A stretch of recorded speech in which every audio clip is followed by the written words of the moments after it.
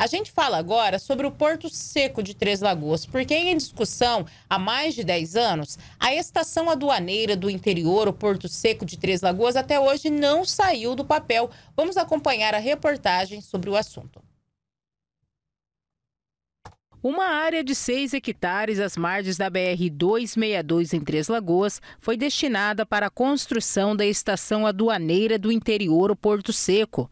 Após anos de espera e depois de várias reuniões, a previsão era de que o Porto Seco fosse licitado no segundo semestre do ano passado. Uma comissão chegou a ser formada para tratar da implantação do Porto Seco e um novo levantamento de viabilidade deveria ter sido feito para que a Receita Federal abrisse licitação no ano passado, o que não aconteceu.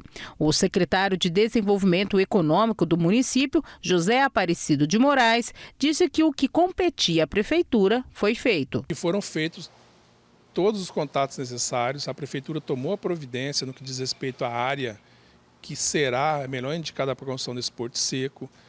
Fizemos contato com, com o proprietário dessa área, ele se dispôs a fazer a doação. O Estado também, fizemos reuniões com o Estado, ou seja, município e Estado, nós estamos bem caminhados. Mas por se tratar de um porto seco, tratar de uma obra federal, a licitação tem que partir pela União e, no caso, pela Receita Federal. Então, nós estamos acompanhando, tem previsões de algumas reuniões acontecerem no próximo mês lá em Campo Grande.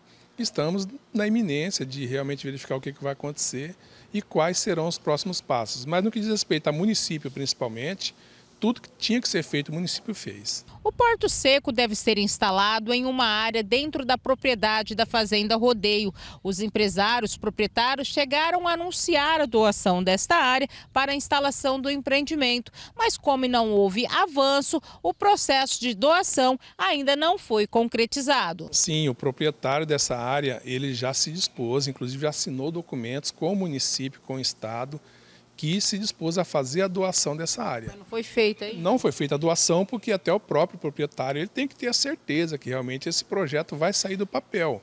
Ele não pode fazer a doação de uma área sem saber o que vai acontecer ali. Tá? Mas a área continua lá à disposição.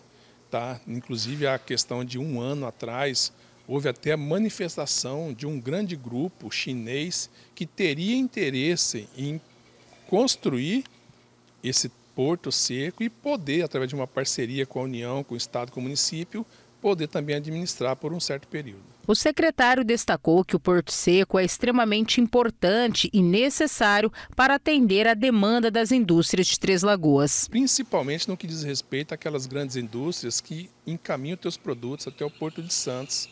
Porque você não tem a data correta para quando a tua carga vai embarcar nos navios, para ir principalmente para a Ásia, para a Europa.